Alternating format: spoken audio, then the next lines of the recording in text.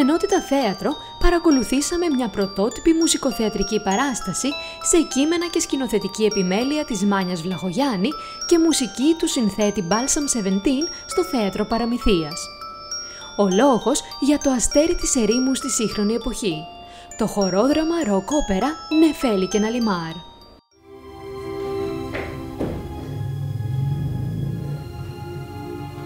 Σε χώρες μακρινές και ξαπουσμένες των θρύλων το υφάδι περασμένες, σε χρόνια και σε μέρη ξεχασμένα, στο πέπλο των ονείρων κεντυμένα, εκεί που η σκέψη μοιάζει μαγεμένη, και από μορφιά, και χρώμα μεθυσμένη, της φαντασίας τον ύμα ξετυλίγει, εκεί η ιστορία μας αρχίζει.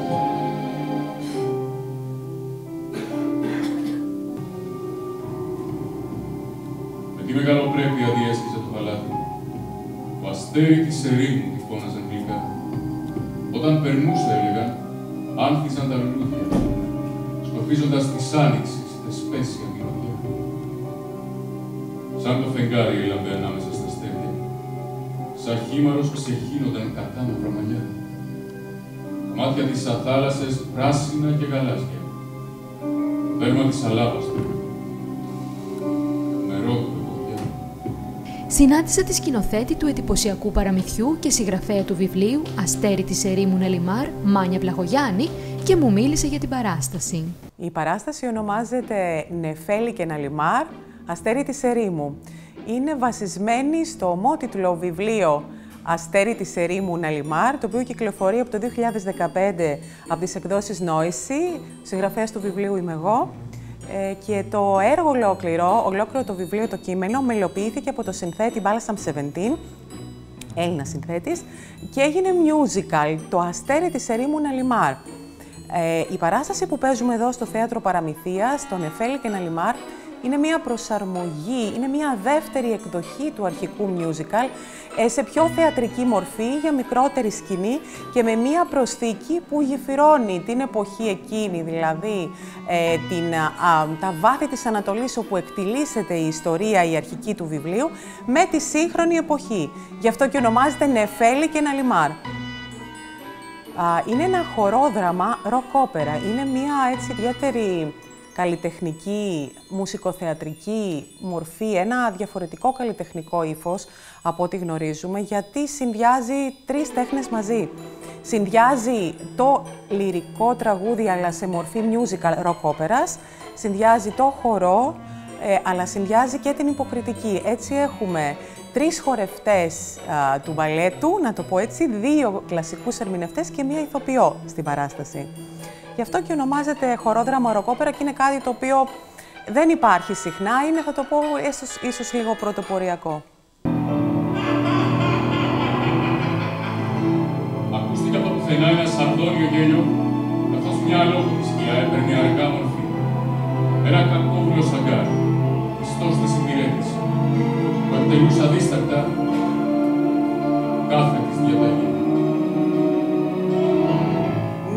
Πήρε τις ορκίστικες ό,τι κι αν σου ζητήσω και πόθεσε να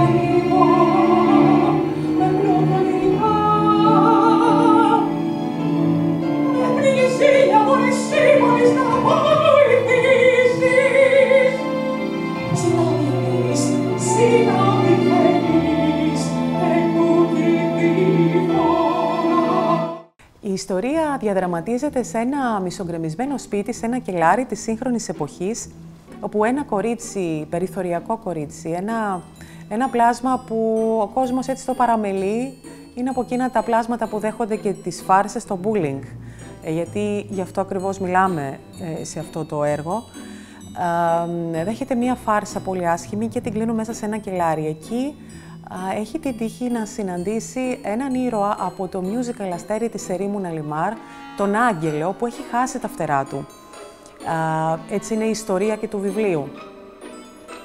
και μέσα εκεί εκείνος ανοίγει το βιβλίο που είναι άδειο. Η κοπέλα το βρίσκει, βρίσκει το βιβλίο μπροστά της, είναι άδειο και μπροστά της ξετυλίγεται, ζωντανεύει η ιστορία της Ναλιμάρ. Μέσα από αυτή λοιπόν έχουμε δύο πραγματικότητες.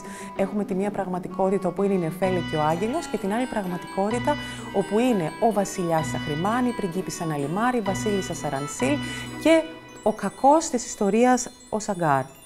Έτσι λοιπόν όλοι αυτοί α, ε, οι, οι, οι ήρωες της ιστορίας που προέρχονται από το αστέρι της ερήμου ζωντανεύουν την ιστορία μπροστά της και εκείνη μέσα από αυτή την ιστορία εμπλέκεται κατά έναν τρόπο σιγά σιγά βίαστα ε, παίρνει στοιχεία, μαθαίνει για τον εαυτό της, μπαίνει μέσα στην ίδια την ιστορία, φυλακίζεται και κάνει έναν αγώνα να βρει τον τρόπο να βγει από αυτήν πλέον ανανεωμένη, έχοντας βρει τον εαυτό της, θέλοντας να γυρίσει στη δική της εποχή. Εκεί είναι όλο το γύρισμα, το τρικ του έργου, πώς θα μπορέσει να βρει τον τρόπο να γυρίσει στη δική της εποχή.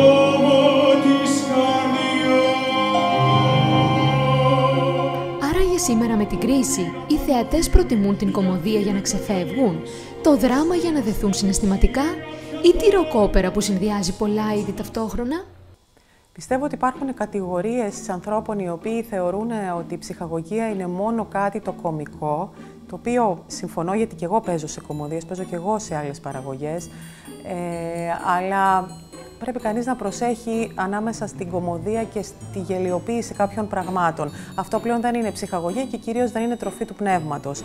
Τώρα, όσον αφορά το δράμα, πάντα υπάρχουν και θα υπάρχουν εκείνοι που αγαπούν μόνο το δράμα. Η μοντέρνα όπερα ε, δεν τη γνωρίζει ο κόσμος καλά. Ε, ε, είχα το πρόβλημα, ονόμασα στην αρχή το έργο μοντέρνα όπερα. Ε, δεν καταλάβαιναν οι περισσότεροι τι σημαίνει το μοντέρνα και με το όπερα υπήρχε το πρόβλημα της όπερας που είναι, ένα, ένα, είναι για λίγους ανθρώπους, οι περισσότεροι δεν αγαπούν αυτό το είδος. Ε, η ροκ όπερα όμως είναι πραγματικά το πιο συναρπαστικό είδος θεάτρου κατά τη δική μου άποψη και έρχεται πολύ κοντύτερα στον κόσμο από ότι οποιαδήποτε άλλη μορφή θεάτρου, γιατί περιέχει το τραγούδι μέσα, την υποκριτική, το χορό. Έτσι λοιπόν είναι και το πιο, κατά τη γνώμη μου, ψυχαγωγικό, εύπευτο και συναρπαστικό μαζί. Πιστεύω ότι ο κόσμος αρχίζει και αγαπάει όλο και πιο πολύ έτσι, τα musical και τη μοντέρνα όπερα και τη rock όπερα. Λίγο πέταξε, έφυγε χρόνια την παράσταση δίνουν επίσης χορευτικά οι χορογραφίες του Γιούργεν Κυριάκη, ο οποίος υποδύεται και το βασιλιά, ενώ χορεύουν μαγευτικά η Αντιγόνη Χρόνη που υποδύεται τη Ναλιμάρ και ο Γιώργος Κορφιάς στο ρόλο του κακού Σαγκάρ. που στάλαξε μες στη καρδιά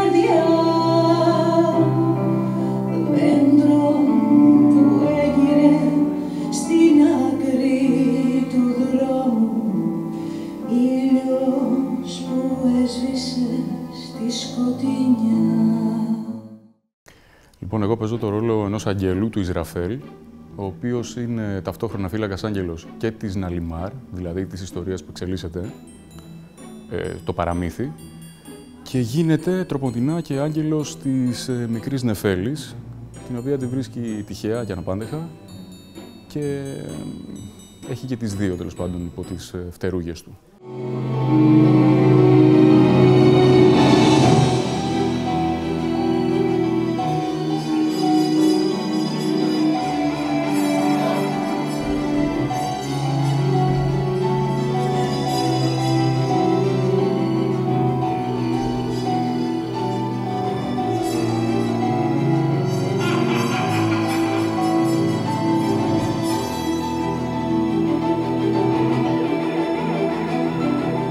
Πόσο δύσκολο είναι όμως να συνδυάζεις την όπερα με υποκριτική και χορό; Εδώ υπάρχει μια μικρή παρανόηση γενικότερα, ότι είναι δύο ξεχωριστά είδη. Προφανώς έχει άλλη αντιμετώπιση και άλλη προσέγγιση ένας ηθοποιός στα πράγματα. και στο κείμενο που έχει τέλος πάντων να, να μεταδώσει στο κοινό. Αλλά ουσιαστικά, εφόσον η όπερα είναι ένα θέατρο τραγουδιστικό, ο τραγουδιστής της όπερας καλείται να είναι και ηθοποιός. Ένας ηθοποιός ο οποίος τραγουδάει. Δεν θα προσεγγίσει το ρόλο όπως ένας ηθοποιός. Υπάρχουν άλλες απαιτήσεις, υπάρχουν και τεχνικές δυσκολίες, οπότε έχει ε, μέλημα σε άλλα πράγματα, στην τεχνική του, αλλά δεν νοείται να μην υποκριθείς, να κάνεις την υπόκριση που λέμε, την, ε, την, ε, την θεατρική. Είναι κάτι το οποίο πρέπει να το, να το κουβαλάς μέσα σου για να κάνεις καλά τη δουλειά σου.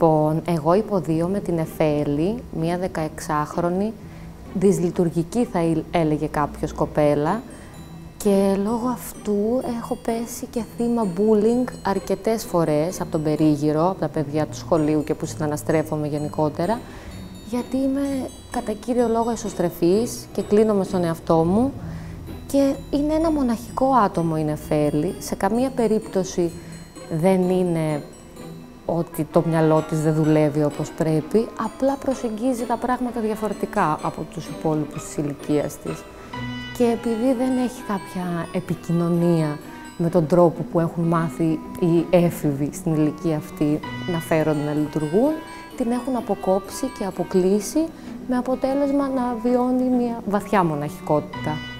Και έτσι ξεκινάει κιόλας το έργο με μια κακόγουστη φάρσα που έχουν αποφασίσει τα παιδιά να τις κάνουν και σιγά σιγά σκηνή σκηνή που ξεδιπλώνεται το έργο ε, αρχίζει και συνειδητοποιεί τις αλήθειες της ζωής της και παίρνει μια πολύ ηρωική απόφαση ότι θέλει να αφήσει πίσω όλα αυτά που την κρατάνε πίσω ουσιαστικά και θέλει να προχωρήσει. Παίρνει μια βαθιά ανάσα, σηκώνει αυχένα και λέει όχι, εγώ είμαι αυτή και έτσι θα πορευτώ με αυτό που είμαι.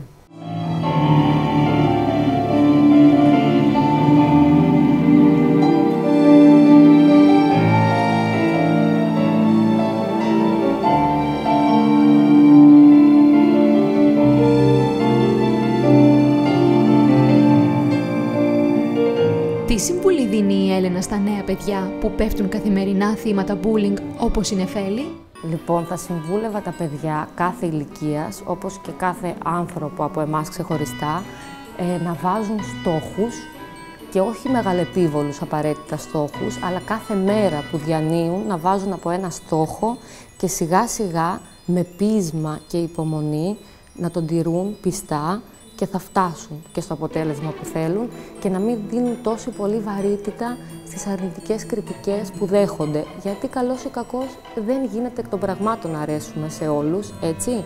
Αλλά αν πολύ συνειδητοποιημένα ξέρουμε τι είναι αυτό που μας αρέσει και μας ταιριάζει, θα φτάσουμε και σε αυτό. Και αν δεν πιστέψουμε εμείς σε εμάς, δεν πρόκειται να το κάνει κανένας. Και είναι και πολύ λογικό αυτό και θεμητό. Οπότε να μην το βάζουν κάτω τα παιδιά και όποιος αγώνας δίνει, το κάθε παιδί θα δικαιωθεί.